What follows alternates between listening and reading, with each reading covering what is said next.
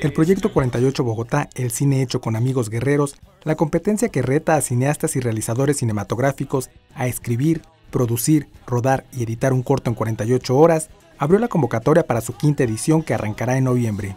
Comenzará el viernes 16 por la noche. A cada equipo participante se le asignará un personaje, un objeto, una línea de diálogo, un producto y un género que debe ser incluido.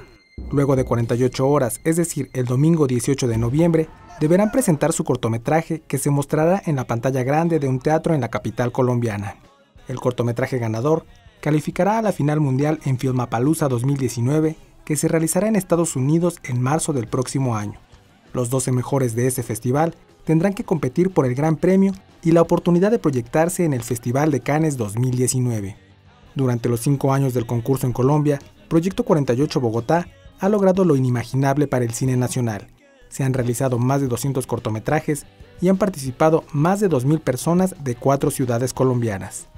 Con información de Edelmiro Franco, corresponsal en Colombia. Notimex.